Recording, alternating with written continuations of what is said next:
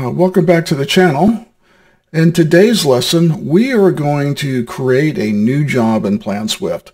We're going to show you the different parameters. Uh, we're going to uh, talk about the dialog box, what things you have to fill in and what things you probably don't.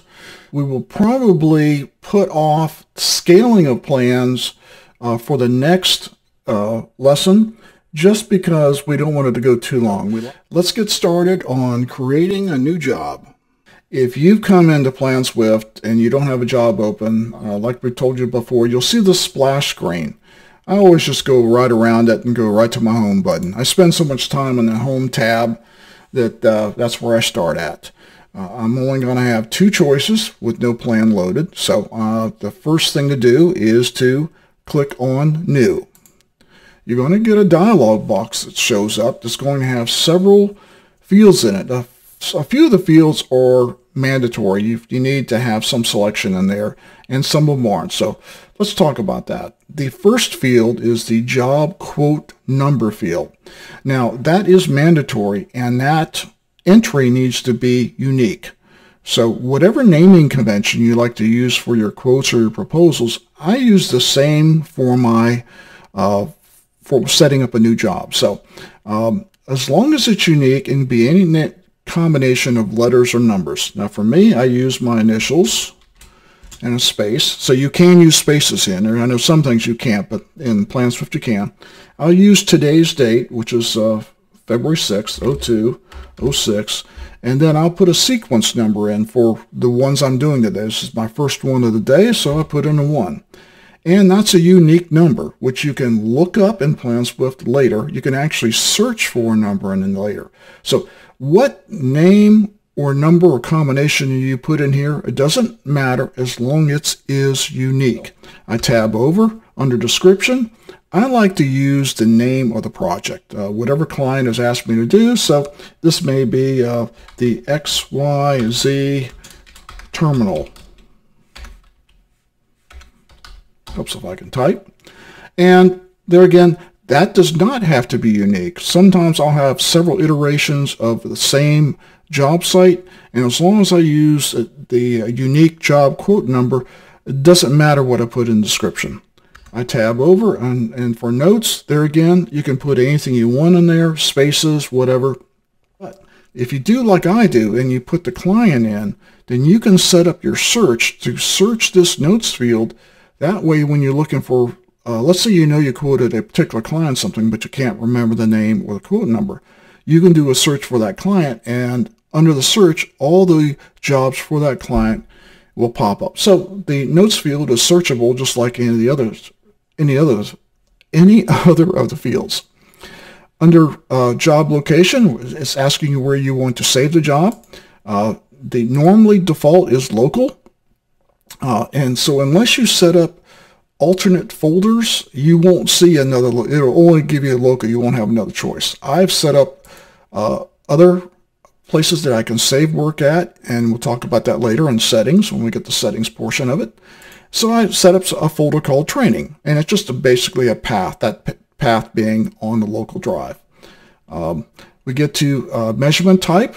Unless you're uh, Outside of the US, you're probably going to be using English or what they call imperial.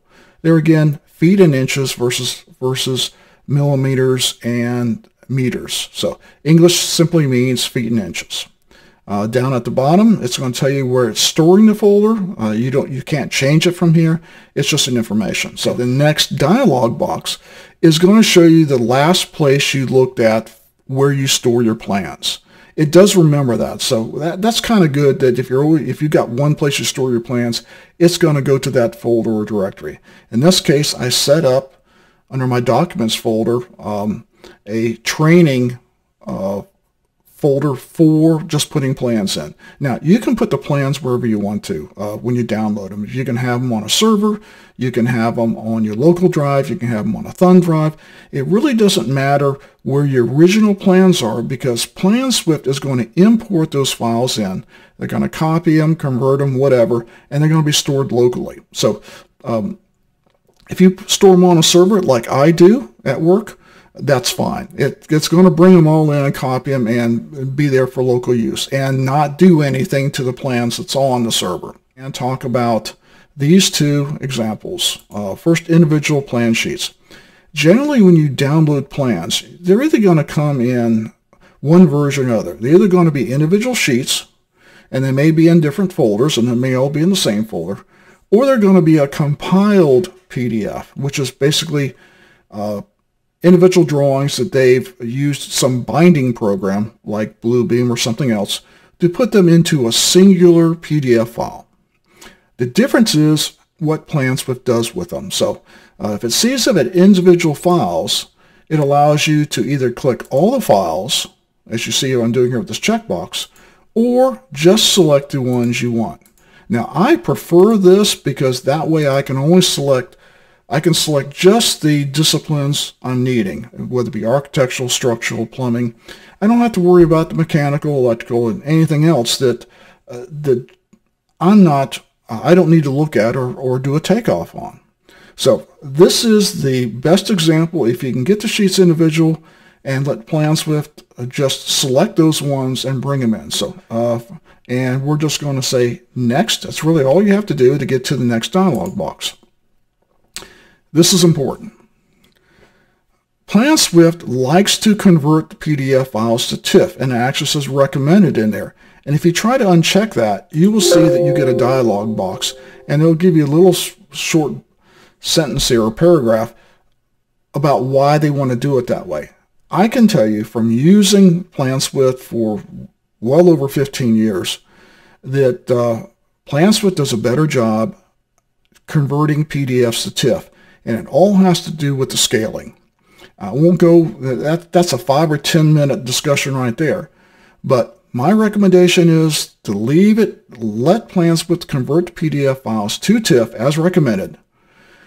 Uh, if you do that, then you have two other selections. If you uncheck that, then really it's no selections as far as uh, DPI and format. This DPI and format is simply for leaving that checkbox checked.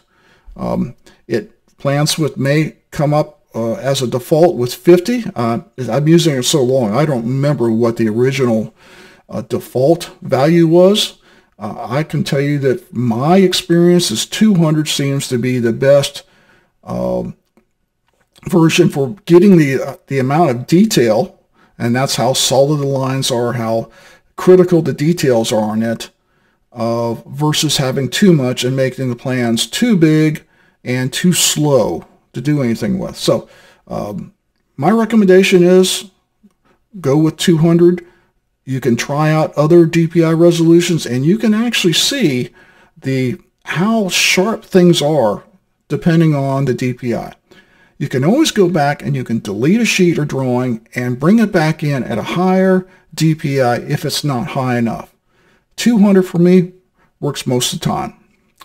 Next selection is format. Now, back in the day, I'd always bring things in in grayscale because some things would not be just black or white, and you you would need to be able to see things like hatch lines that are sometimes shaded or in a gray.